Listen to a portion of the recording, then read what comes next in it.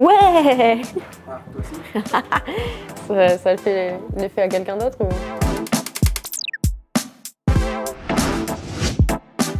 Frais.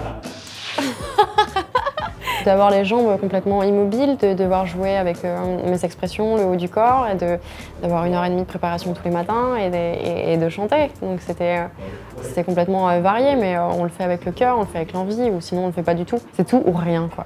Donc là, c'était tout. Ouais, vrai. Ouais, c'est chiant d'être mouillé toute la journée, quoi. Je sais pas, quand tu prends ton bain, au bout d'un moment, t'as envie d'en sortir, quoi. T'as les doigts fripés, t'es là, vas-y, c'est froid, donc...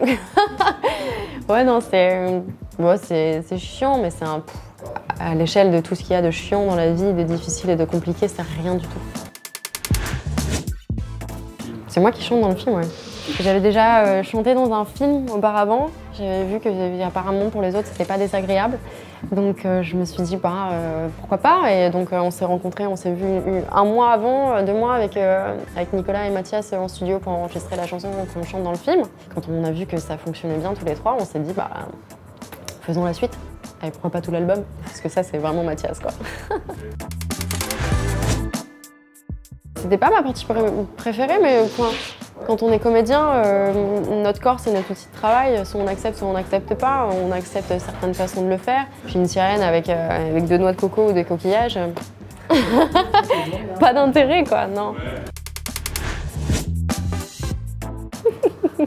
Vrai pour moi, vrai, vrai je l'espère pour tous les gens qui vont le voir. En fait, c'est complètement différent. La petite sirène, c'est l'enfant, c'est le cœur, c'est un, film, c'est une référence quoi. Donc euh, celui-là, je- j'espère qu'il aura un impact dans les mémoires de tout le monde et, euh, qui donnera le smile quoi. Mais euh, c'est un plus cool différent. Je vais le récupérer là. Euh, voilà, je, je lâche pas les gens. Je veux. Ouais, mais je le, je le quitterai pas. Parce que je l'ai déjà, je me vois pas le quitter. mais, euh, mais je pense que ça, se fait, oui. Il faut le faire des fois, c'est bien quand c'est nécessaire et quand, euh, on sent qu'à l'intérieur ça va plus, il faut, écouter son cœur et le faire. Donc si plein de gens ont envie de tout quitter pour, pour le grand amour, ouais, il faut pas hésiter. Moi, je le quitterai pas. Euh, frais, trop. Les deux tournages, euh, tournages se faisaient en même temps. Et, euh, et dans la vie d'un comédien, comédienne, c'est des choses qui arrivent. Donc euh, c'est des décisions à prendre. Il fallait laisser la place à Arthur, euh, Robin. Voilà, j'ai eu de la peine à partir, mais je savais que je, je, quittais Scam et qu'il y avait encore de magnifiques comédiens et de magnifiques histoires. Donc. Carrément, j'ai tourné genre juste après pour un film d'action euh, qui s'appellera Sentinelle, qui a été tourné par Julien Leclerc, euh, à côté de auquel je joue euh, avec Olga Kurilenko. C'était super, j'ai hâte de le voir et c'était un plaisir à le jouer. Plus précisément, grâce à une photo d'un d'un ami photographe à l'époque qui m'a mis dans, dans son exposition, la réalisatrice est tombée dessus.